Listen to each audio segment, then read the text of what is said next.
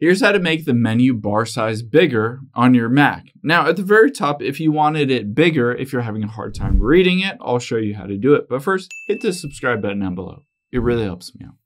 Thanks, guys. Now, we'll first head into your settings. So go to the top left and tap on the Apple icon. And then we'll go down and tap on System Settings from here.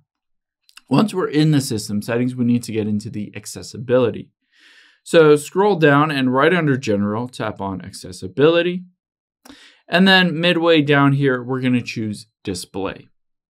Once we're in the display, all you need to do is scroll down. Under the text option, you can see menu bar size.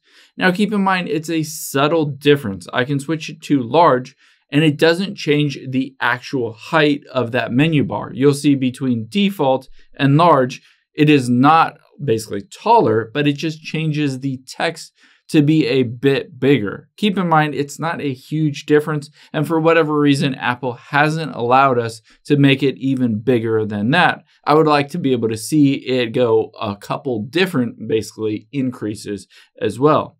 You can also tap on text size here, though.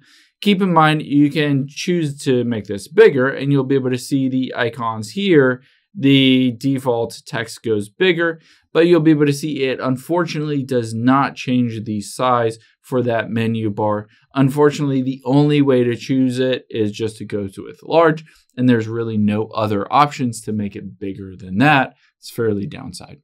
Hope this helps. If it did, hit the like button down below and leave a comment if you have, it, still have any questions. Thanks, guys.